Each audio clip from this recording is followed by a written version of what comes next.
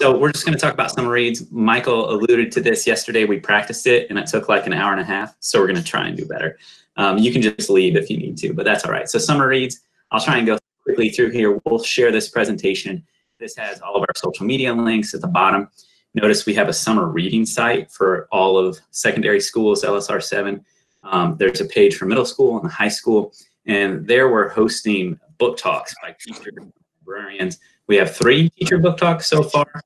As always, we would like to have more than best, or at least in high school. So if you could add a book talk, uh, please do that, and we'll share that through that page and social media summer.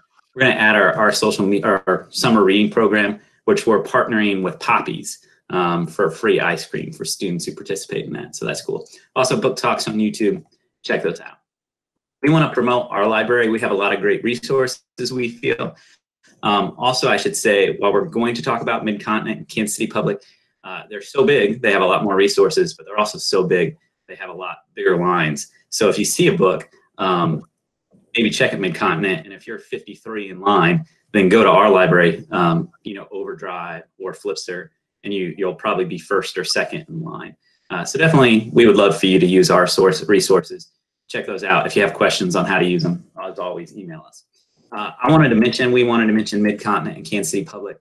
All of you can get a Mid-Continent and Kansas City Public Library card. There's links in the upper right-hand corner um, to their websites. It used to be in the upper right-hand corner. You just hit get a library card and you fill out the form and immediately you get a digital card which you can use right then and then they mail you the physical card also there's links to their digital library because they have tons of resources obviously that you don't have to go physically to the library uh, we've listed a few of those i'm not going to talk through them all overdrive has libby for public sora for schools now for their apps they also offer movies so overdrive i think mid-continent alone has about 80000 ebooks and audiobooks on overdrive so that's awesome uh, there's lots of magazines. Hoopla, if you haven't looked at that before, it is appropriately named because it's just a smorgasbord of stuff. There's comics, there's magazines, there's e-music or streaming music, there's movies, all sorts of things.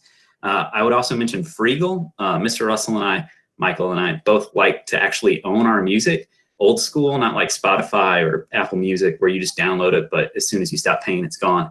So it's old school like iTunes. You get to download five free songs a week and you own them. Um, so that's good if you're working on a project that you actually need to put music uh, in a video or something like that. So that's Freegal. You actually get to download and own music. And then Lynda, I wanted to mention because those are online courses, especially for digital skills, which are, and they just got bought out by LinkedIn. So if you do a course and earn some sort of certification, it gets put into your LinkedIn profile and resume, which is kind of interesting. I don't know how I feel about it, but it's kind of interesting. Um, accessing books, uh, besides Mid-Continent, Kansas City Public, our library, all great sources of material. Um, Overdrive offers free summer reading each summer. They have 11 books for middle school and high school students that through every library, um, students can, anyone can access unlimited access to them all summer. So there's a link to that. Uh, that's on our Overdrive and Mid-Continents and Kansas City Publics. And then AudioFile um, is a different company that offers audiobooks each summer. They offer two free audiobooks each week. And this summer, it's much more convenient because they used to have their own website and you had to go there and register. Um, you still have to go there and put your email in, but then you can add it to Sora, uh, to Overdrive, and access it there. So it's really convenient. And once you check out the book, I checked one out yesterday you have it for 36,000 days, so roughly 98.5 years. I don't know why, but you do. So those are all the different ways to access books uh, for free, and there are a lot of other ways that we didn't mention. Uh, Apple Books is giving away free books, Audible by Amazon, uh, lots of books right now, which is kind of cool. Um, PD opportunities. So Dr. Meisenheimer and uh, Ms. Minks sending out that awesome uh, opportunity, a free book that's just Michael and I were so you know, it's us. We're excited about free books. Um, and one of the things that was mentioned, if you want a free professional development book or if you want to order one of those, rather than list professional development books, because we're all teaching different content, I thought I would list some of our favorite journals in the library office. So educational leadership, um, teaching tolerance, which is awesome. And this uh, month's issue is about young adult literature. Uh, and then school library journal. Uh, we know that we're the only librarians, uh, but at the same time, they're offering their digital, digital content for free, and half of every school library journal is book reviews. That's probably not surprising. So if you go to any of those websites and type in professional development books, you're going to get good book reviews about professional development books on every content area. So you might find uh, the book you're looking for through one of those websites. Also, these are just great uh, journals to look through uh, anytime. So those are some of our, our favorites. Okay, we're getting into the books now, so I'm going to turn it over to Michael from there. Thank you very much. Nonfiction books. Um, Nathan and I both, I think, love talking about books. So I, I made some notes just to keep it brief because I could just go on and on, and I, I do tend to go on and on with books. So first one, Fascism: A Warning by Madeleine Albright. She was, of course, Secretary of State under Bill Clinton. She writes about her family history with fascism during World War II and her concern for modern fascism uh, in politics these days. But considering that she was a Democratic president's Secretary of State and her views are different than our current president's, uh, the book is surprisingly diplomatic. As a diplomat, I guess it's not that surprising, but uh, a good read. Digital Minimalism, uh, Choosing a Focused Life in a Noisy World by Cal Newport. Mary Lee Potostik did a great book talk from home on this. That is on our YouTube page. The book is uh, by Dr. Newport, who is a computer science professor at Georgetown. Basically has two sections. What is digital minimalism? How to live life without relying on this. And then also, you know, can't really survive without it. So how do you choose what is most appropriate uh, to serve you in the best way? Funny You Don't Look Autistic by Michael McCreary is a short, funny read. This was a um, community read on Sora during April. McCreary is Canadian. He's a comedian. He's 22, and he has autism. Uh, he talks about living with autism, how his brand of autism poses challenges for himself, also about how autism has helped him. He's built a comedy career around his experiences with autism. It is very short. It's an autobiography. He's only 22, so he doesn't have that much to say, uh, but it is a funny, uh, laugh out loud at times book. Uh, Things That Make White People Uncomfortable by Michael Bennett. This is my favorite book of those uh, new books that we're talking about on this page. Basically, it is a manifesto uh, of race in America, partially told through the lens of college and professional sports. He is a Pro Bowl football player. He gives you the perspective uh, from his point of view. I think my favorite quote from the book is he says, I will play football for a few more years, but I will be a black man in America for the rest of my life. Uh, he is highly critical of the NCAA not paying athletes, uh, calls the NFL draft and the player combine slave auctions, uh, offers some perspectives that some are funny, some are profound, some are rather profane. Uh, and on that note, there are two versions of this. There's the adult version, and then there's a more toned down, appropriate young adult version uh, so that if you read it and want to talk about it with kids, uh, give them the young adult version. But I think it is fantastic for continuing the conversation about race in America. And obviously, the news, even within the last 16 hours, shows that we could probably uh, stand for a little more conversation about that. Evicted by Matthew Desmond. He is an investigative journalist, spends time with slumlords in Milwaukee uh, dives into records uh, about residential uh, institutions. Also focuses on other focuses on Milwaukee, but mentions other cities like Kansas City. Um, landlords make more money off of renting to lower income people than any other segments, and evictions basically become a big business. So you get narratives from landlords and from tenants. Uh, very interesting nonfiction book. I will quickly mention the five books on the side are all fantastic. We have talked about them in the past, as well as one book on the next slide on the adult bestsellers, fiction bestsellers. We did such a great job talking about those six books. They are still on the New York Times bestseller list. So go us. Check those out. And uh, Nathan has four more uh, nonfiction books here on this slide. Um, I also mentioned I when we share this presentation, I link these to searches within Midcontinent so you can find the audio and ebook and some related books to them because I knew it, it was kind of hard to see some of the covers. So Washington, uh, Making of the American Capital, I think I read in January or February. I mentioned it because it, in 1793, Philadelphia experienced a yellow fever where 10% of their population died. And they talk about it in this book. And it really was one of the reasons where the capital, which they were kind of skeptical would ever move to what would be Washington, D.C. They thought it would stay in Philadelphia. uh, kind of precipitated the, the moving of it. Um, so it has a lot of interesting parallels um, to all sorts of things today. So it was a pretty interesting read. Fiasco is about uh, 2003 to 2006 in the Iraq War and the fiasco um, that it was. American Amnesia um, is about kind of progressive politics. I read it um, last fall and I thought it was really good. Uh, I really want to encourage you to look into The Life You Can Save by Peter Singer. Um, he apparently is like the most influential philosopher in the world. I'd never heard of the guy, but he influenced the, the producer of The Good Place and uh, The Office and Parks and Rec. Um, and so his philosophy shows up a lot in, in those shows, apparently. Um, you can, it was such an influential book. This rich person basically bought out the rights and now uh, Peter Singer and this guy are giving it away for free. So you can download the book for free. You can download the audiobook for free. They have a lot of resources on their website. Um, and I think it would be really good to use in class. They're short chapters that really um, just create great discussion. So his famous thought experiment is if you were walking through a park and you saw a kid drowning in a pond, would you think about the value of your clothes? Like, oh, I don't want to ruin my hundred dollar shoes or my, you know, my suit. Uh, no, you would save the life of the child. But he, his argument is that we make that decision every day. Every time we buy a hundred or two hundred dollar shoes, we're prioritizing our shoes over the lives of other people. So it's really difficult to think about and to grapple with. And I think it would lead to a lot of great conversations. And it's free, uh, the audiobook and the ebook. So that's the life you can save. And the next ones, if I can get this to work, are adult fiction. adult fiction. Okay. I will talk a little longer about the adult books than we will some of the young adult books to come, just because we're adults and um, reading YA is great, but it's also good to read uh, some great adult fiction. So the first two on the top left, uh, both by Colson Whitehead, both won Pulitzer Prizes. Uh, Nickel Boys, top left, just won the Pulitzer earlier this week for fiction.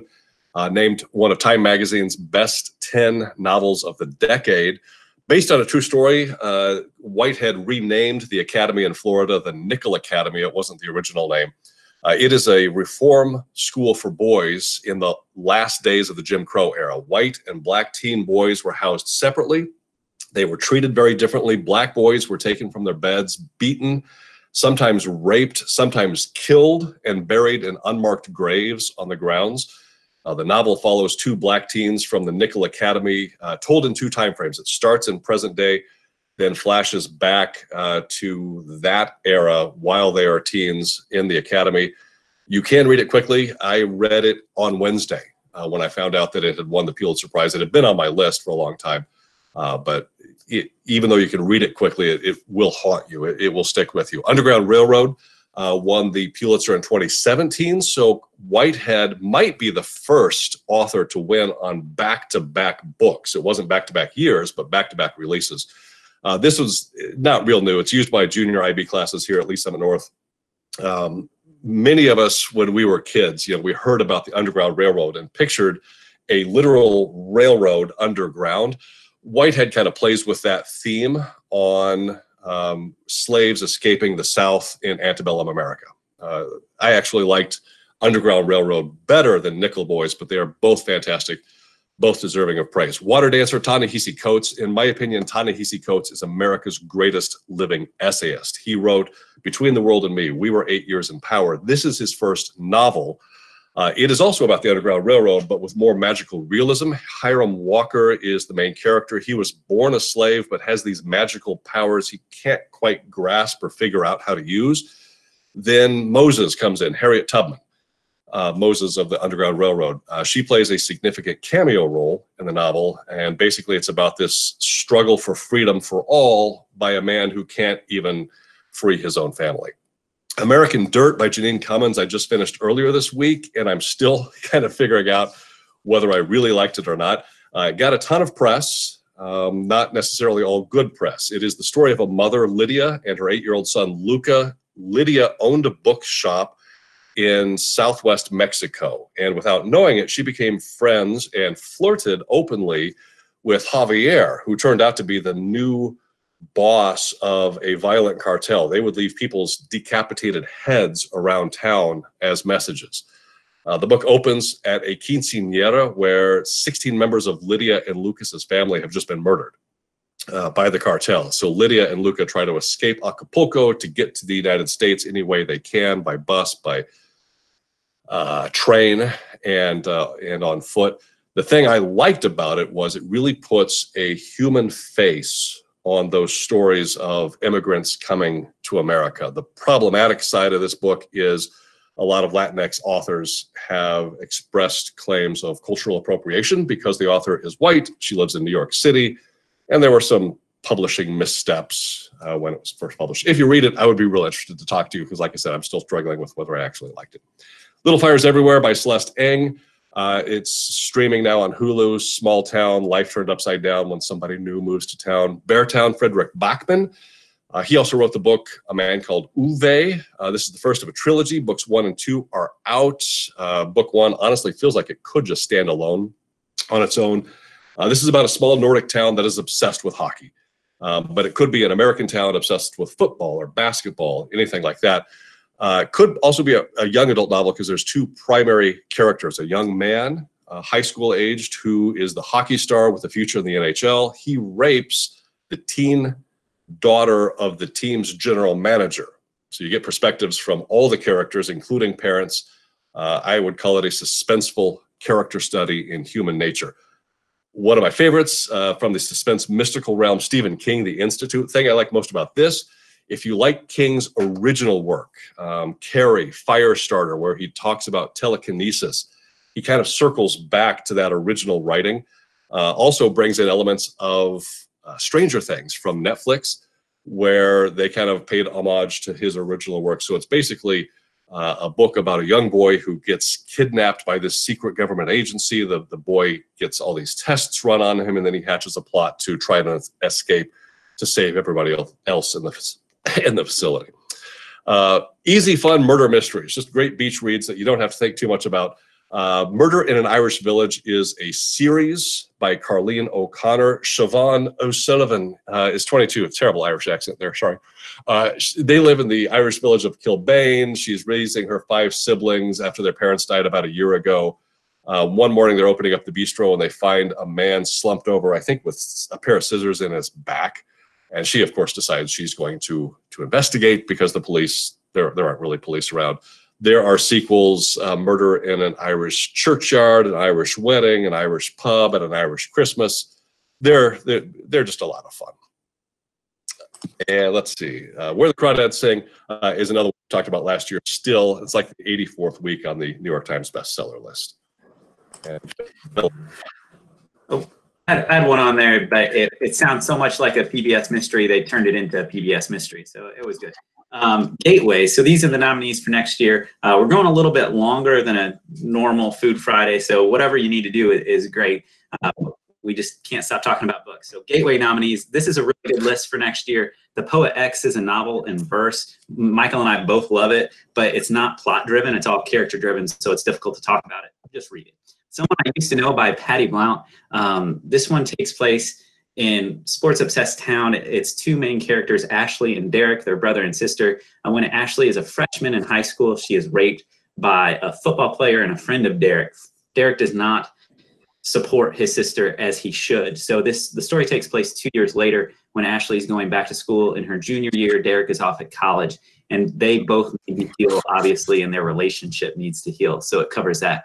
A Heart and a Body in the World. I just finished this. Um, Annabelle, main character, is 17. She lives in Seattle. She has just gotten fast food, but rather than get in her car and drive home, she just starts running. Uh, she runs 11 miles that night, calls mom at home and says, Mom, I'm not coming home. You know that appointment I have in DC five months from now? I'm just going to run there. So throughout the book, um, you find out what's happened to her, the tragedy, her relationships as she runs across the United States. Uh, I love that book and I've read it uh, real quick, which I'm not a fast reader. I'm going to skip down, just talk about two more. Um, After the Shot Drops by uh, Randy Rib, uh, Ribay um, two main characters. It alternates back and forth. Bunny is called Bunny because he has hops. He's an amazing basketball player. Think LeBron James in high school. Uh, they live in New York City. They're best friends. And Bunny gets a scholarship to a private school. Think Rockhurst, but even worse and wealthier. Um, so he takes it because he wants the opportunity uh, for himself and his family. Nasir is upset because he feels like his best friend has abandoned him. Uh, not because he took the scholarship, he understands that, but because he didn't talk to him about it. So the rest of the story is about that next basketball season and about their relationship, and about their community and families as they kind of deal with all of the issues uh, that come up. And that was a good book. Uh, Dry, I mentioned that. that. That book really frustrated me. It's by Neal Shusterman, who our students really like. But it takes place in Southern California in the near future, and the drought has gotten even worse. And then the governors of Arizona and Nevada and Colorado decide to shut off access to the um, what am I thinking? Colorado River to Southern California. So they run out of water. Uh, so it follows um, Alyssa and her little brother um, uh, through two weeks as there's no water in Southern California and kind of craziness ensues. Uh, it was really difficult and just uncomfortable to read, especially as a parent, because you're like, how would I take care of my kids? And one of our library assistants started reading it right before uh, the coronavirus pandemic, and she emailed us and said, I had to stop reading this because it was just too much during this time. So it's pretty intense. It, you get through it fast. Um, so those are the four that I'm, I'm going to talk about. I will mention real briefly um, uh, some of the others. Little White Lies is basically a tomboy becomes a Southern belle. Cruel Prince is a fantasy like Game of Thrones, but with fairies. Dread Nation is one of my favorites on this list. It is revisionist history with modern political satire. Absolutely loved that one. There is a sequel. Mental health is a big thing that is coming um, in a lot of new books. Uh, Monday's Not Coming is one of those. Tiffany D. Jackson is fantastic. Hey Kiddo is a graphic novel uh, that kids who have an unstable home life will probably relate to. Unfortunates is a suspense novel. Uh, the worst cover in years. Uh, the cover looks like it has absolutely nothing to do with the book is actually about. Flight Season is a uh, lovely romantic comedy tragedy uh, that made me cry. Camp Valor, the kids love it. Picture a Steven Seagal film about military camps but as a young adult novel. It's terrible, but the kids love it. Uh, Neanderthal set in uh, Montana. Both Nathan and I loved that one.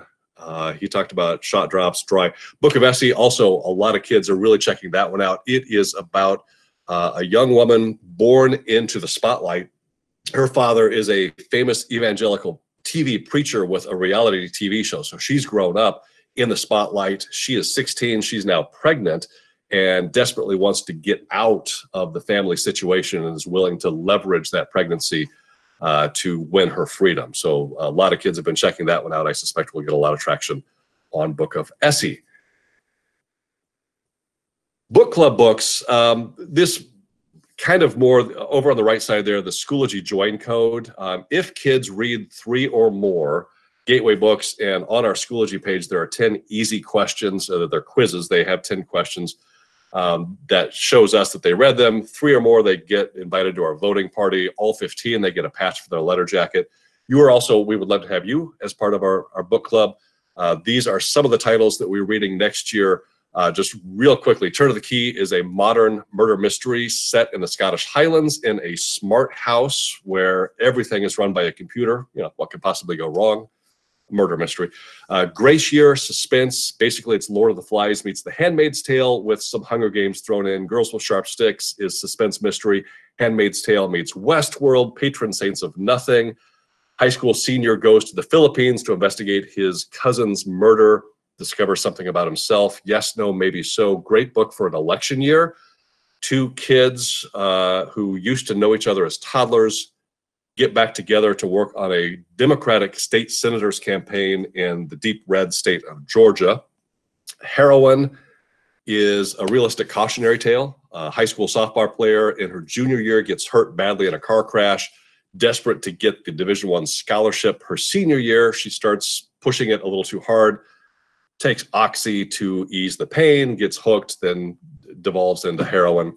American Royals, great beach read basically it's a modern story. Twist is George Washington back in the day didn't become our first president, he became our first king. And now his descendants are our royalty and two females, uh, great, great, great, great granddaughters, are in line for the, the crown for the first time. Speak and Shout, Laurie Halse Anderson. Um, Speak is, of course, the classic book about a, a girl who gets raped in high school and doesn't speak about it. Shout is Laurie Halse Anderson's uh, book in verse, a biography in verse about her experience writing that and meeting young women as well as men uh, who had been sexually abused uh, and those experiences. Past Perfect Life might be a book club book uh, if we have time for it. It is about a young woman basically doing everything that our seniors do and then discovers that everything about her life has been a lie up to this point. So, kind of a thriller. So, those are book club books. Real quickly, um, hot new YA books. Pretend She's Here. Uh, a young woman, her best friend is killed, uh, dies, and then her parents, Lizzie's parents, come back uh, and steal the best friend and say, You're going to be our new Lizzie. It's creepy. It's weird. You yell at the book. Let Me Hear a Rhyme by Tiffany D. Jackson. Loved this one because it's set, I hate to call this a historical novel because it's set in 1997, but that was 22 23 years ago now, so it's technically a historical novel. But in New York City, uh, lots of references to that golden era of hip hop. So Tupac, Biggie, Lauryn Hill, Queen Latifah, Dr. Dre, Snoop Dogg, the list goes on and on. It's it's fantastic. I think our kids will love that. Um, Kingdom of Back is about Mozart and his sister as little kids making up fairy tales about this kingdom, and uh, the kingdom comes to life. Frankly, in love is the best thing I can t- say about this. It's a great book. Uh, David Yoon's wife Nicola wrote Everything, Everything, and the Sun is also a star. So I think that will be very popular with kids. It's a romantic comedy, Fountains of Silence, historical fiction about Generalissimo Franco in Spain. Cursed is a prequel to the Arthurian legend, which is a lot of fun and will be on Netflix. Netflix bought the rights before it was published, uh, I think in early 2021. Uh, the rare, funny YA book, Field Guide to the North American Teenager. Main character is Canadian, speaks French, and he's black, and he moves to Austin, Texas, where none of those things are, are working out for him. Very funny one liners. Let's Go Swimming on Doomsday, suspense novel about a terror cell in Mogadishu and a young man trapped by the American CIA and the terror cell. Darius the Great is not okay. Young man goes to Iran to visit his grandparents for the first time, kind of discovers himself in a homeland he didn't know he had. And New David Espinoza, young man is really scrawny, is bullied. Uh, this bullying incident goes viral on YouTube. He decides he's going to bulk up over the summer by taking steroids, and it doesn't end well for him. So I think there'll be popular books next year on the young adult realm. And the, the Darius, the great one, the author is from Kansas City, so kids have a lot of hear him speak. Michael, I think this one's still yeah. Yes, last one I'll talk about. Um, you know, I think we're on what day 87 or day day three of quarantine. I, I time is is funky, but you might want to get away a little bit um, with some sound. You know, you can't necessarily go to the beach to read, but maybe you could plug in a beach uh, and that will help. So these are four links to different things. Missing Sounds of New York City. This week, the New York City Public Library released this album of sounds of what New York was before quarantine. So it's traffic, it's Yankee Stadium, it's the New York City Public Library, which of course is not quiet. Uh, there's also Oxford libraries, um, beaches and nature. So if you want birds chirping or uh, beach sounds, and then Hogwarts Sound Mixer is kind of fun because it's got the Hogwarts Library, the Gryffindor Common Room, and you can kind of mix the different elements, much like uh, the app Noisli, which is uh, also a lot of fun.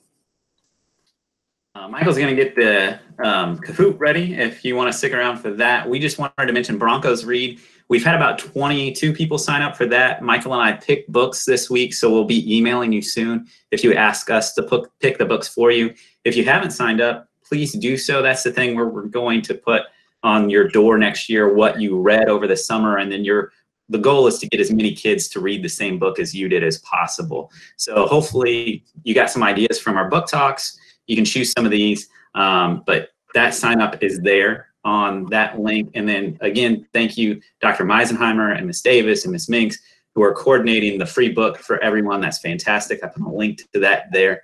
I think uh, Leslie sent out a reminder this morning for those of us who haven't chosen yet. I haven't chosen yet, having trouble choosing. Uh, so thank you again for that. And the winner, JP, in third place. Walker in second.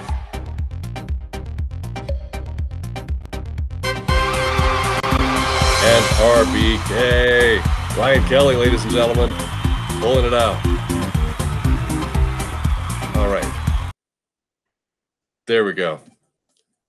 Mr. Miller, any thoughts? Thank you for coming to listen to us talk about books. If you have any questions or anything, or email us. I love from people. It's amazing how much an email from somebody makes me happy right now. It's like, oh, somebody's talking to me. So hope everybody's doing well. Let us know if we can help you in any way. We're, we're still around.